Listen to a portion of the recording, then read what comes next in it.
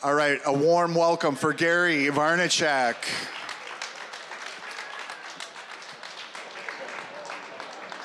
Do you want to sit? Do you want to sit on the edge of the table? What do you want to do? You want to walk through the crowd?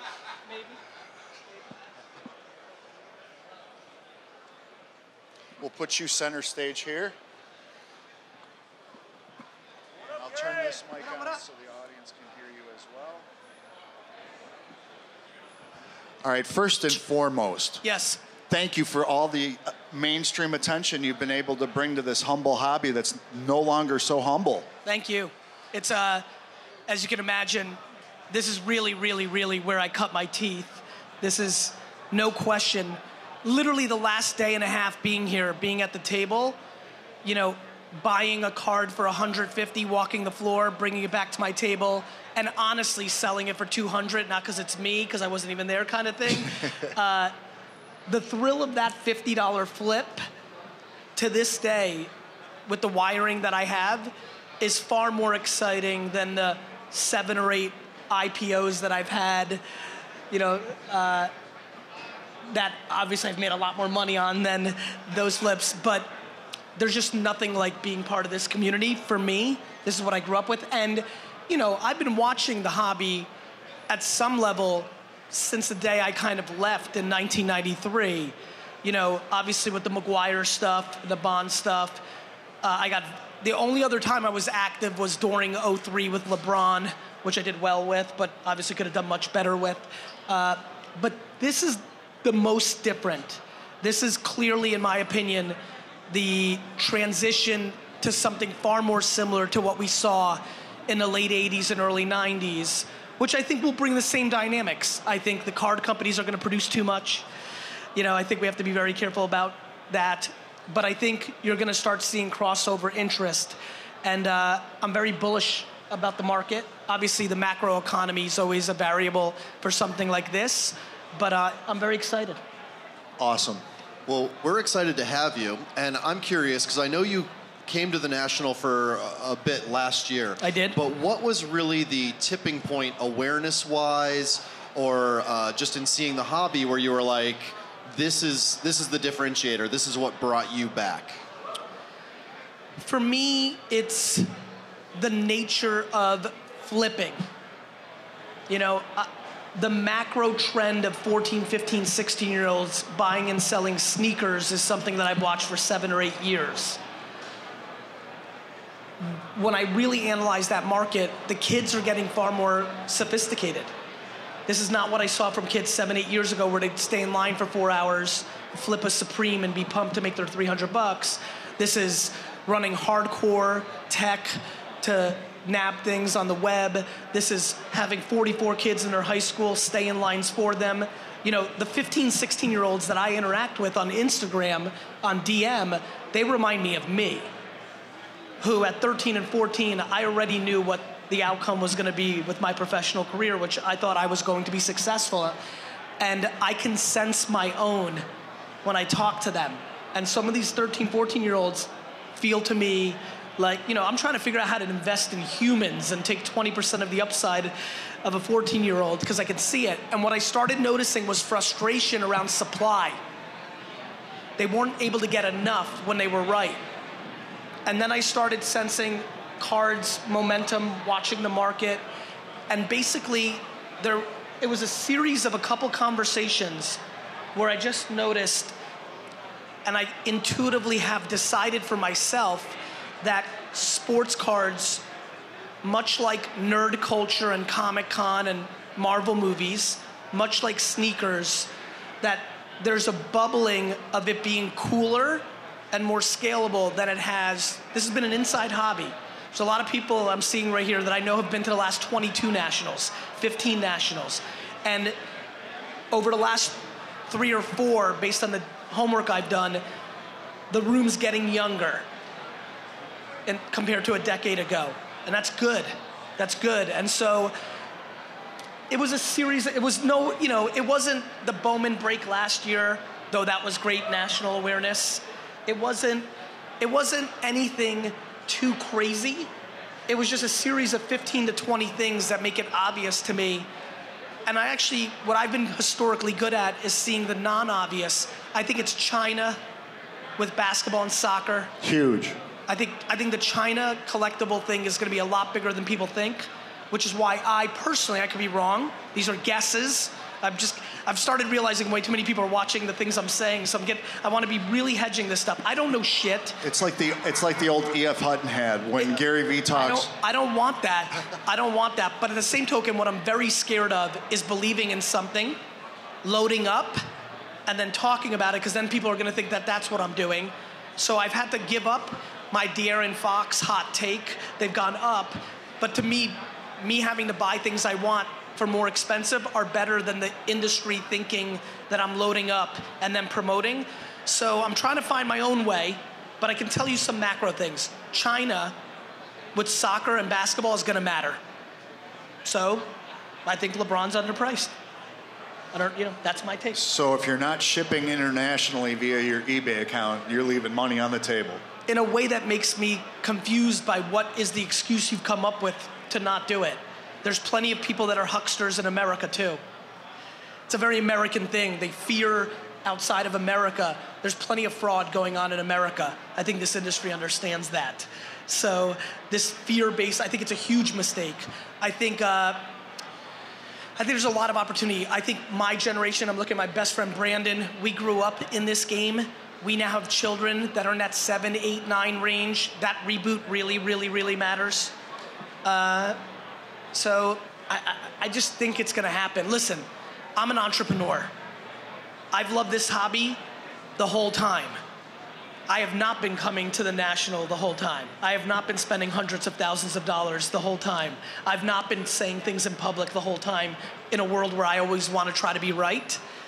I feel like something's happening. And there's a lot of purists that are not to like that, and I respect that. If I was a pure collector, I would hate what's about to happen. Prices are going up. If you're a buyer and flipper, you're to love what happens. Sports is tricky. Sports is not comic books.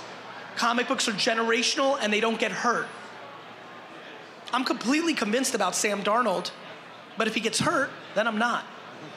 Right? You know how much AI rookie cards would be? He was the culture, right? Derrick Rose, and on and on and on. So, look, I bought an obnoxious amount of Durant's because I thought they were massively overpriced. It doesn't help that he's out for a year, how he comes back. So there's a lot of variables that go into this hobby, but there's a reason this is happening. Brandon, again, I just, you know, he's so my best friend, and we're busy, and he runs my wine business, my dad's wine business. So we talk sometimes, but sometimes I get busy. But when he was walking this morning, and he just whispered something. I said, What did you say? And he basically said, This is what I'm going to be doing for the rest of my life. He's been out of the hobby also for 20 years, but the taste, the taste of it, it's just very obvious to me what's about to happen. Ready to take some questions from Yeah, That's that's super cool to hear, Gary, and I really appreciate. Um, above all else, I appreciate your honesty because, if I may have a take, there are a lot of companies with a big following in this industry that I've seen do that specifically, where they What's load that? up on something and then send out an email blast saying, "Here's who's hot," or they send out an infographic saying, "Here's who's hot" after they've got a I, hundred of their and I cards. think I think people should in some way. I'm trying to figure out for myself because I'm really now in it. I'm playing, and so like, what I didn't realize were how many people were actually listening. You know, listen, for all my bravado and confidence, the only thing that I'm most proud of is my equal level of humility has made me palpable. So I don't think just because I have a lot of social media followers that I'm important in this hobby. I have to earn my keep to get back to that respect. At the same token, maybe there was some level of naivete for me of how many people, even though I wasn't with it day to day because they were entrepreneurs, were aware of me and into it anyway. So I've been caught off guard a little bit, you know, with some of the following of what I'm saying. But at the same token, I want to load up on who I think is underpriced. So what I'm basically saying in my head is, if I would have bought a thousand PSA, you know, BGS tens of something before I would say something, let me buy 50 to 100, then start talking about it. Because look, I'm very, I'll say it again, I'm extremely hot on De'Aaron Fox, but I, I'm not educated enough on the NBA. If this offseason everybody's watching film on him, and have figured out his one speed variable, which, I mean, this is real sport. Like, I'm in the sports business. My brother and I represent 27 NFL players with Vayner Sports. Most of my football quarterback observations, investments, and non investments have everything to do with the human being off the field and nothing to do with on the field. There's a lot of people investing on kids right now that they don't realize the kid's a piece of crap, hanging with the wrong people, and has absolutely did not work out this offseason. I know real shit. I know four or five guys who came in 40, 50 pounds overweight. Like, I know real stuff. I know who they're dating, what they're doing, and that's information advantages. And uh, so, anyway, nonetheless, I'm not, I don't expect to be right, but I'm very excited about sharing my hot takes. Listen, I thought Patrick Mahomes was gonna suck. There's a good one. I'm real lucky that this isn't two, three years ago where I would give that hot take, and boy, that would be repeated on social over. I didn't think he was gonna be good. I didn't like that system in college. I don't like I don't love second generation athletes, of professional player. You know, I would have been wrong. Um, on that same side, you told me something this morning at your booth that I thought was really interesting from a dealer perspective, being at your booth that right now, in some ways, you're at a disadvantage dealing with some people on some cards. Can you talk just a little bit about being back at the disadvantage? Oh, I've been absolutely ripped off for the last 40 hours because I'm not in the game. I, I have no concept of non-graded cards. Like, just cannot figure it. Like, this dude rolled up with a fucking what are those? What are those called? The eyeglass? What's it, the microphone? loop? I don't know. This dude rolled up. A jeweler's loop. And he started like going through my stuff that was priced, that was ungraded. And like literally, I'm sitting there, I'm like, I am about to get murdered. I took my beating like a man. I appreciated my beating. I like enjoyed my beating. You know, I have no concept of low numbered autos, RPA. Like I, I, I understand my strategy on base in current new stuff. I'm completely confused by Prizm Silvers, you know, autos. I haven't made my observation yet if that's a huge vulnerability or if that's where the upside is. So, I mean, the level of bashing and losses I'm going to take here compared to Atlantic City is going to be a big variable. I will be far more prepared, dealers, in, uh, in Atlantic City, but I'm just not there yet. All right, we promised an audience interactive podcast. He's kind enough to want to take some questions. Hey Gary, thanks for being here. First of all, brother, I really appreciate it. We got a Thank couple you. mutual friends. Javier Nunez over at Supreme's a good friend of Yes. mine. Joseph McClendon Jr., good friend of mine as well. Glad to have you here today. Yes. Like you, Gary, I jumped out of this thing over 20 years ago. I owned one of the very first stores in upstate New York when I was eight years old. Had a store out of my home. And uh, with Larry Fritsch's of the world, the big guys, Al Roz and so forth. So vintage is my hot spot. How do you think that transition today? I'm back like you 20 years later. How do you think that hot spot, why for me is vintage, and bring it today's fold to the second generation, third generation of you know kids and guys buying cars? I think I think vintage is the most interesting and the and the least interesting. And let me explain. I think you know vintage is is strong. It's classic. It matters. But again, unlike comic books, is there as much juice behind Ernie Banks and Johnny Bench and Roberto Clemente today as there is 10 or 15 years ago? It just doesn't play that way, right? Um, it just doesn't. And so I love, love vintage for the all time, all time, all time icons. But I think guys like you and I, gals like you and I, can get tricked because they're icons to us. But the depth of their iconness softens. So I think, I think people should stay in their lanes. You know, I just talked a lot about the stuff I don't understand right now. I think people should triple down on what they know. But, I, but this is about a game of demand. So if the whole hobby goes, which I think it's going to, the overall demand gets stronger. Everybody from catfish hunter all the way through does go up.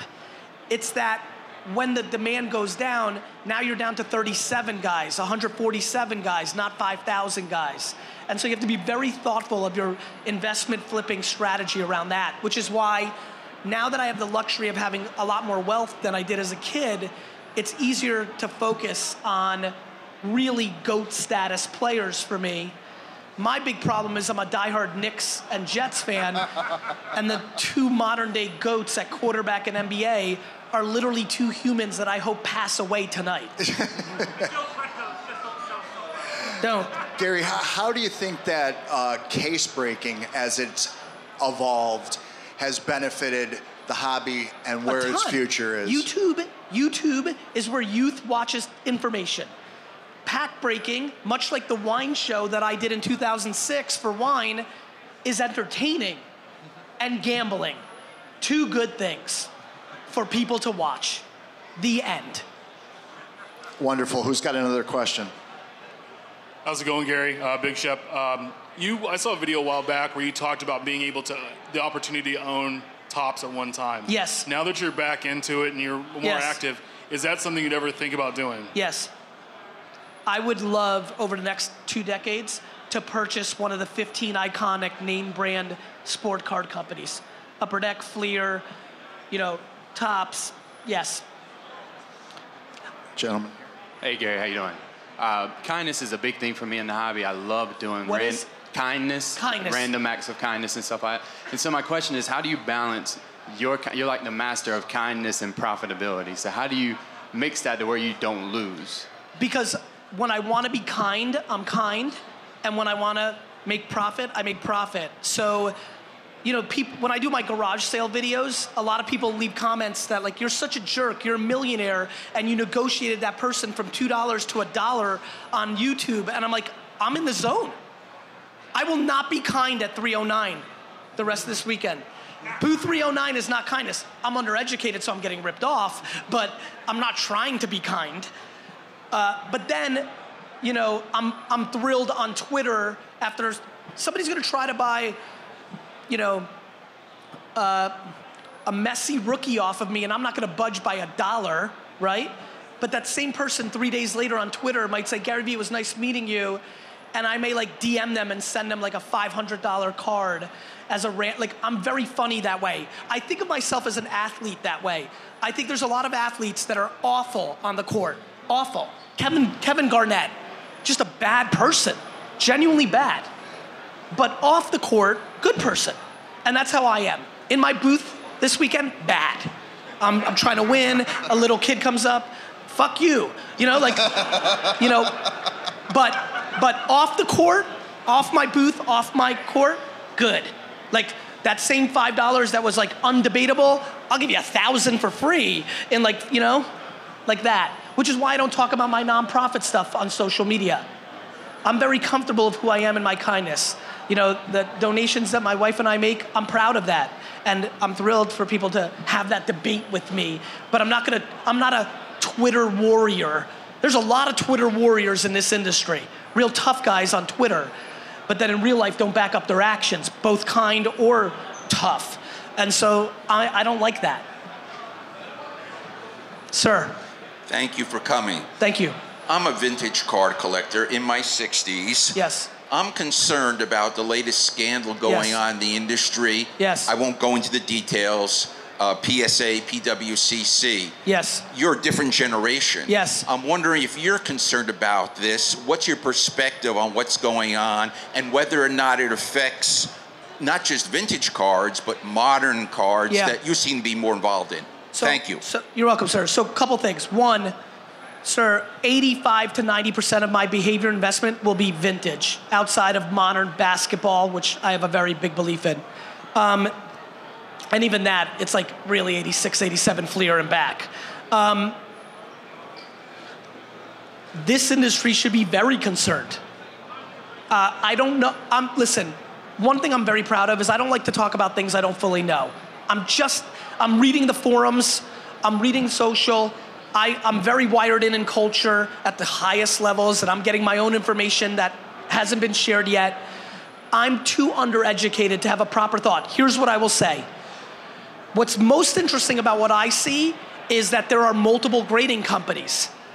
If there was one grading company, like let's say the American Mint that makes a currency, if this was currency and there was one, it would be a much more interesting debate. My intuition is this industry transformed after I stopped collecting because of grading. Grading is 100% built on trust. Nothing else.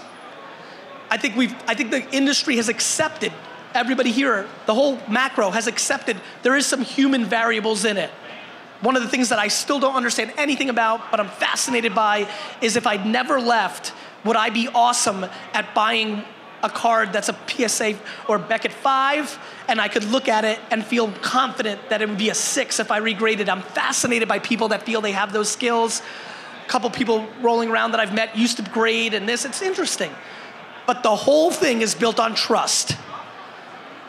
As the mainstream media, Darren Rovell, the Wall Street Journal, CNBC pick up more on this, I think it's a vulnerability. And I'm a big fan of the market over everything. Not my opinions, not your opinions, not the 50 biggest dealers, not the thousand most active people on the forums. The market gets to decide. And if the market decides this is too much and see you, there will be such an enormity of loss of dollars. Whether my intuition is the worst outcome for the net is that one or two of the leading grading companies lose so much equity that a third or fourth grading company takes the top spot, and then everybody who invested in a single grading company becomes far more vulnerable. I think a very interesting strategy for the most thoughtful with high risk, high reward are walking around buying highly graded cards of a tier three or tier four grader right now, hoping that the grading companies switch positions. That's an interesting thesis but I'm not sure. But I will say this, and this is a complete outside point of view. My intuition and hypothesis is everybody's too intertwined to let it go all the way down. And so that's what I'm, I'm watching, but I'm not sure. Um, I had a quick question you, you triggered something in my head with that, which was you were talking about how there's options with the grading companies that allows it to be, well, this company needs to address this or step up, or this company when these issues happen. With your understanding of the sports industry, yes, and licensing, yes, do you see any chance for exclusive sports licenses to go away in the future, yes. or do you think that it's a great thing for the hobby? No, I think I think both are in play. This hobby has seen both.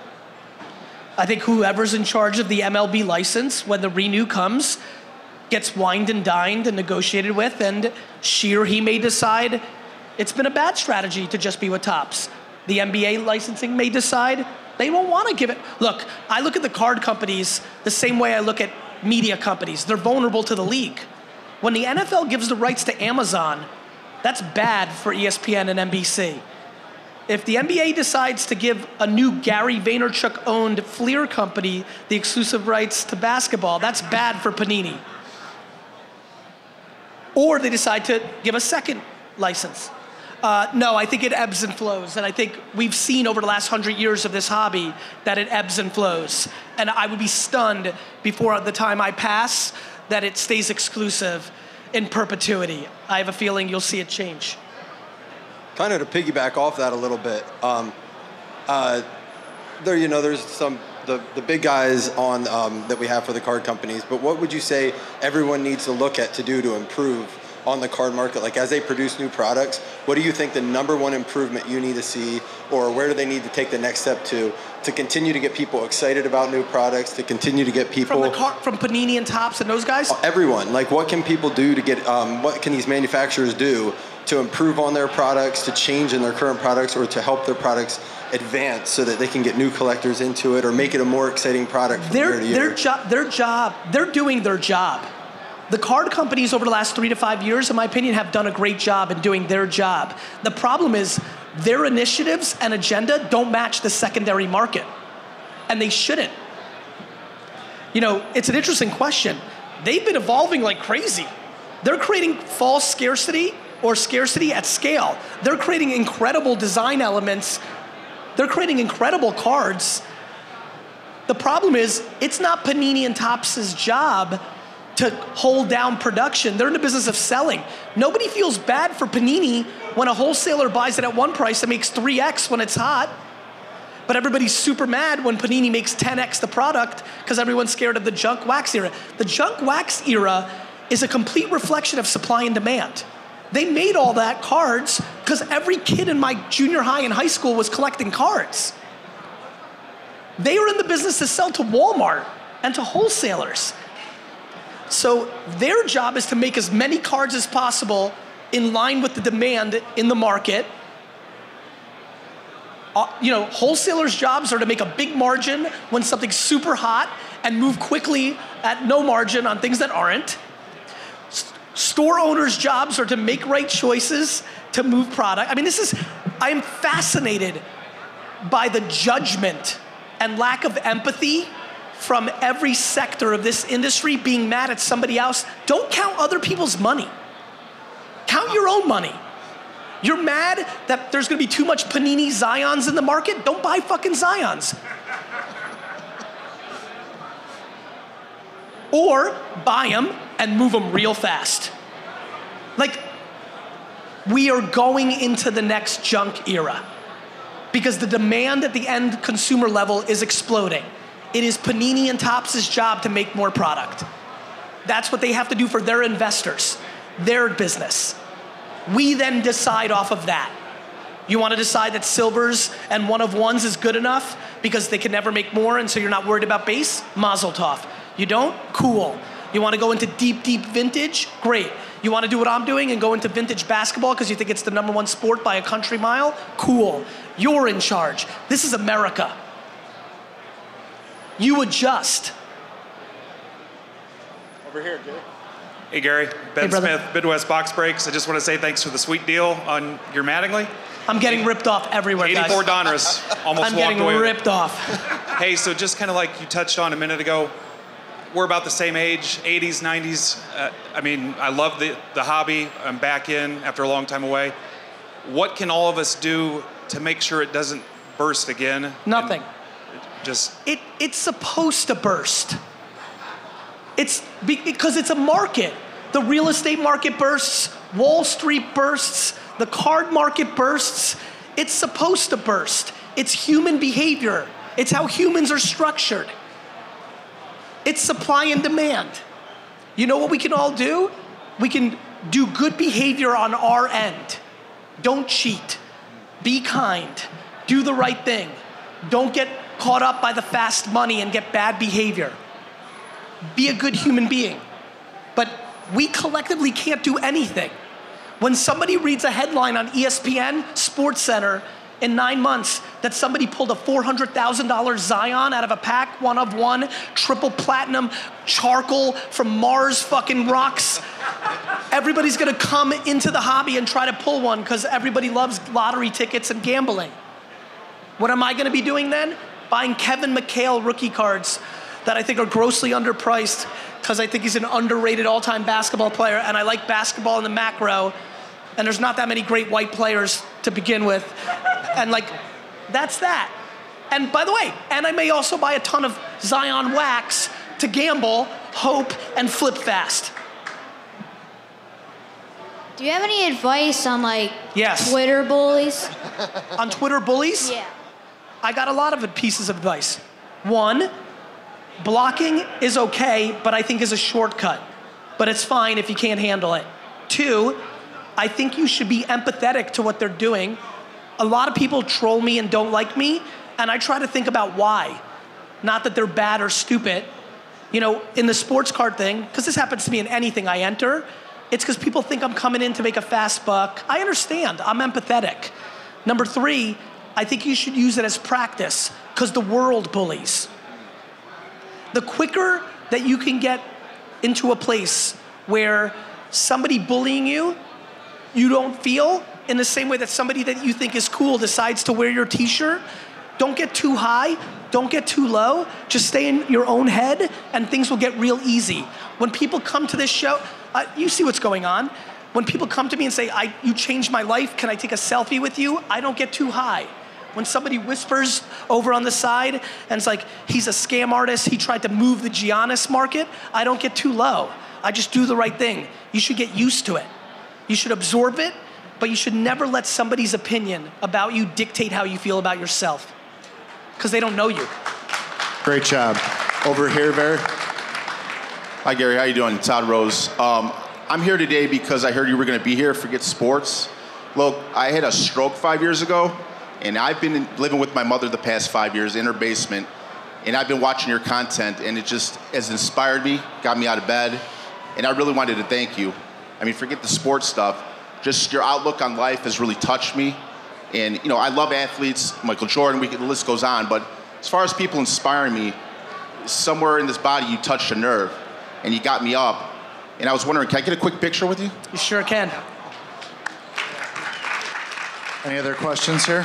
Somebody got a question for Gary? Thought I saw a couple other hands. Questions? This is the time. Yep. I got some hot takes. All right, here they come. Gary, oh, we got a question here. So, how many uh, booths did you scoop up yesterday? None. Yeah, from what I, you know, here's the thing. Again, I'm still too narrow right now. You know, I know a lot of booths got scooped up in Cleveland.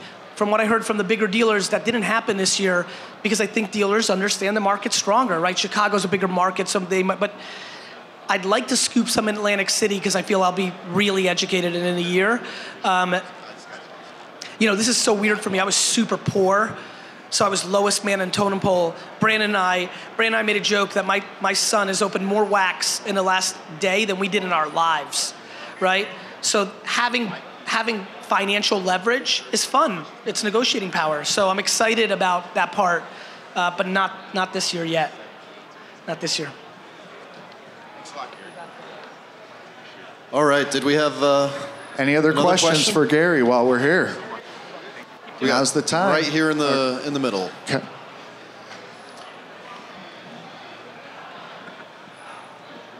How's it going, Gary? Good, brother. Um, how bad do you think the pushback from the sports card purists is going to be once, like, I know StockX is getting back into the, or is getting into the trading card game. I've been doing sneakers for a while, ever since, for like 10 years now, ever since I was a freshman in high school. And I saw the transition and was involved in it, you know, and a lot of people don't know, you know, from the waiting in line time to now the entirely online game. So how do you think, and I, I know people in that sneaker industry didn't react too well to those changes. Nobody likes when their their move gets commoditized. You know who didn't do well when tennis rackets went from wooden to graphite? The players that weren't as good during that transition. Steven Spielberg, one of the great all-time storytellers in cinema, is dissing on Netflix because he doesn't like the transition. People don't like transition when they were humble enough to wake up at 4 a.m., stay in line. That was their advantage. But now it goes to an online game where analytics matter. Nobody likes transition when it costs them money. The problem is the market doesn't care about you. The market doesn't care about me. The market doesn't care about you. How are they going to react? If you're calling a purist somebody who's not capable to adjust to the reality of the new game, they're not going to like it at all. Hey Gary, uh, any thoughts on tickets, ticket stubs, especially as we're entering obviously a more digitized uh, environment where you know season tickets are no longer being made. I'm a huge fan of all things made on paper. I'm not educated about tickets or programs or magazines, leaflets. I mean, look, I'm a big buyer. Uh, listen, again, I'm gonna shoot it with you guys. I think the most underpriced thing in this show is weird cards. I like cards not made by Topps, Panini, Donruss, Fleer. It's first of all, it gets really interesting when weird stuff gets like think about Pokemon and Magic the Gathering. Like there's a I just bought a ton of Interlake Jordans. That's that huge card, 85. I I think anything made on paper is interesting. And I think there's a lot of weird stuff in there. You know, they're the boots that look real janky and scary. And I'm like, man, I want to go in there and buy fucking everything. Uh, I and now and you you notice what's happened, right? I've been on this kick. You're seeing PSA, and I'm sure everybody else will start to grade this stuff. I like paper. Tickets have been collected longer, I, and I. I'm so simple. I'm really, really not smart. I'm good at one thing: supply and demand, of attention, which is why I understood social media, of things, which is why I'm good at flipping. Ticket stubs are interesting because people inherently threw them into bins and things of that nature. Some of these cards made by like, you know, stuff that we thought was garbage back in the 80s and 90s, like there's something really there. And I think tickets can feel that too. I think anything made on paper is a very interesting debate. Hey, Gary. Right. Thank you for signing my shoes. First off, I much appreciate that. No problem. So, the last month of my life has been a little bit crazy. I've spent the last month planning our corporate booth here, and then I go home and I plan our wedding. I get married in 15 days. Thank you. I appreciate that. So, my question is I'm kind of in the doghouse at home for taking this trip. Uh, can you please explain to my fiance so I can show this to her later why it's important for me to be here in Chicago instead of being back in Seattle uh, picking out tablecloths for our ocean wedding? Sure. You want me to answer right now? Brit, is she watching somewhere? Brittany, listen. Here's how I see this. If any person in a relationship is unhappy and not achieving their happiness, the whole thing is vulnerable. And so leaning into the other person's happiness is always a good strategy. Can you? Uh, I, I have a quick question about uh, some of your social media strategy. Uh, it feels like you take a. It's very smart. It's very smart. It- well, it feels like a Wayne Gretzky approach. Uh, skate where the puck is going, not where it is. Uh, But but skate, not run. I'm a skater, not Usain Bolt. And, and this is that's exactly right. Go to where the market's going, but go with what you're good at. This same skill set I have and passionate. This skill set of seeing around corners, I'd make a lot of money in real estate. A lot. I just don't like it. I'd rather buy 4,000 weird Converse Larry Bird cards. Happiness matters. So, yes, go where the game is, but skate there because I'm self aware of my happiness and my skill set. And there's a lot of people right here, right now, this weekend, that are about to go into categories that they don't understand because they think it's getting hot and they don't stay in their lane. Like that really nice gentleman with the Padres hat, he's in vintage. He stays in his lane, right? Like the Brandon knows this because we were so hardcore baseball. I was buying 86, 87 Fleer basketball in 1992 and 3. I was right. I didn't have any money and I didn't go hard, but man, I was right because I already at that point understood what basketball was doing. I mean, soccer cards are a layup. Like, if you can force yourself to get into a sport for the reason to collect it, you better get into soccer. It is the great layup of this industry. Ronaldo and Messi rookie cards are a joke cheap. A joke. They're LeBron, they're Jordan, they're cheap, and the demand. Have you been to New York City or Chicago where kids that are seven years old are wearing more soccer jerseys than Cubs jerseys? It's getting crazy. Do you know how big FIFA is?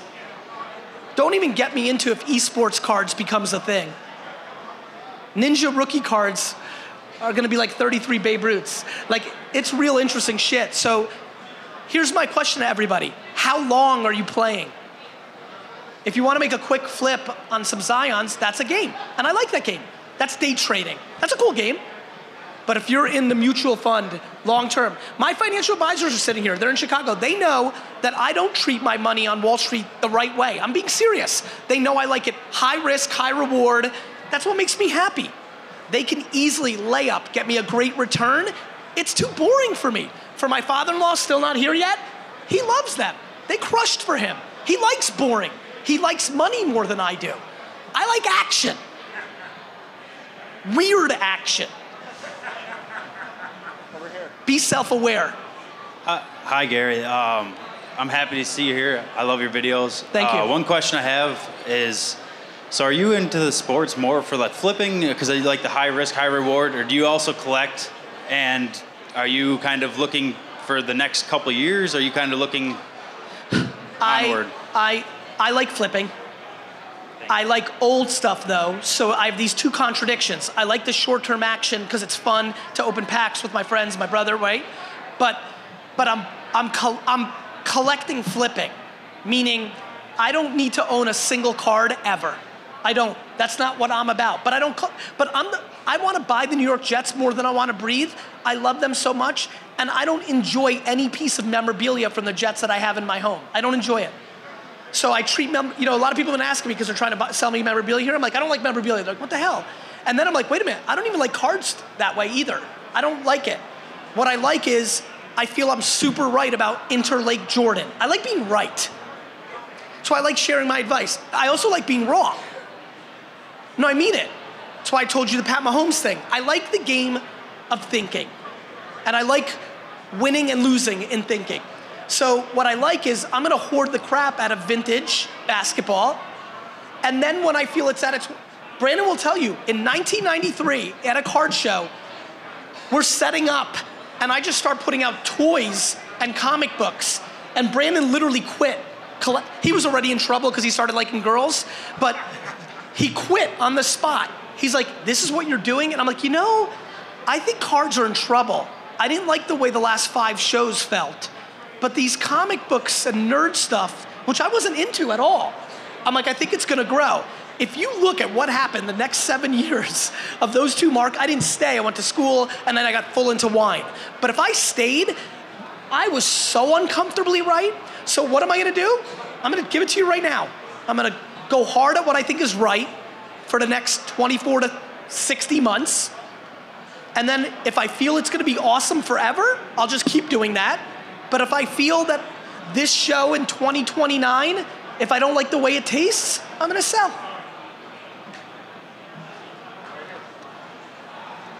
Hi, Gary. Uh, you kind of just uh, answered the question a little bit there, I'll, but maybe I'll follow up. It's a little bit more micro. Uh, if you had thousand dollars here at the show, and you wanted to turn it into two thousand in a year from now, In a year, yes, a thousand, I would buy. It, literally, just literally that answer. Uh, 2000, I would buy either Luka or Giannis Prizm rookie cards. I just don't think people understand how popular basketball is. I also think this hobby is very bad at factoring in the athlete. Everybody thinks that Luka and Giannis are overpriced right now because they exploded in the secondary market on eBay over the last couple months. What they don't factor in is Giannis is probably the best player in the world, and he still has room to grow. And the East is weaker now, and it's only Philly maybe. And he's probably going to get to his first finals. He's charismatic as hell. He's ambitious off the field. He's kind and nice. He's a global character. He's a handsome dude. He's a he's got everything going for him. Luka is white. Luka is 12 years old. He came in as a rookie last year out of shape and flexed on the league. My friend Draymond Green DM'd me, he's like, this boy can play. Draymond thinks everybody sucks. if God forbid Porzingis plays and you've got Cuban hyping the shit out of it, so if I'm just saying to myself, what, you know, quarterbacks scare me because they can get hurt, right? I'm, I go right to basketball. It's a short term hobby now. What would I buy? Dr. J rookie cards. Dr. J rookie cards are stupid cheap. He's an icon, but it won't be a thousand more next year. If you buy a PSA 8 right now for 850, it's not going to be 2,000 next year. But the the table I have that says buying Giannis's at 450, you know, and they're going for five out there, that could be a thousand real, real, real simple. Don't let Giannis drop 51 in game one against the Clippers in the finals next year where they triple team him. Watch what eBay does the next morning. Anthony Davis was the layup of all time. You knew he was going to LA or New York. People got to get smarter here. People are gambling and guessing. I'm watching people talk, people are gambling and guessing. I'm not guessing out here. All right. We know you got a booth to man. Yes, I know, guys, real quick. I'm really, re- more, number one through 10 of the reason I'm here is to spend time with my son.